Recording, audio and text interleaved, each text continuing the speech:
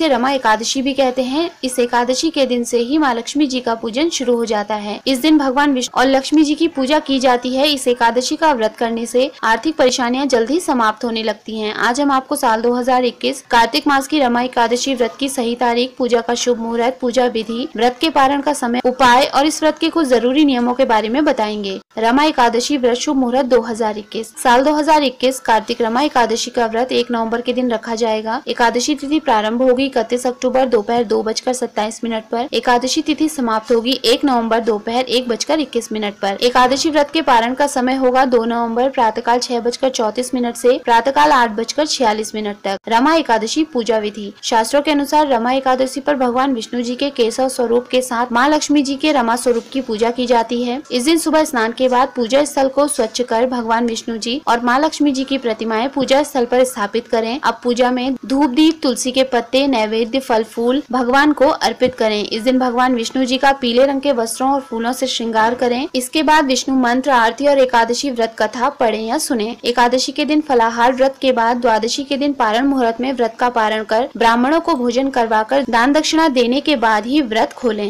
रमा एकादशी नियम। एकादशी का व्रत करने वाले जातकों को आज के दिन चावलों से परहेज करना चाहिए। एकादशी के दिन व्रत करने वाले व्यक्ति को ब्रह्मचर्य का पालन करना चाहिए। एकादशी तिथि से एक दिन पहले दशमी तिथि को सात्विक भोजन ग्रहण करना चाहिए और रात्रि 12 बजे के बाद कुछ भी ग्रहण ना करें। एकादशी के दिन व्रत रखने वाले व्यक्ति को एक समय फलाहार करना चाहिए। एकादशी के दिन घर में तामसिक भोजन नहीं बनाना चाहिए, बल्कि सात्विक भोजन ही ग्रहण करें। एकादशी व्रत के दिन फलाहार करके व्रत कथा ज़रूर सुननी चाहिए। इससे व्रति को कई गुना अधिक शुभ फल प्राप्त होते हैं। एकादशी व्रत का नियम तीन दिन दशमी एकादशी और द्वादशी का होता है। हो सके तो तीनों दिन चावलों से परहेज करें।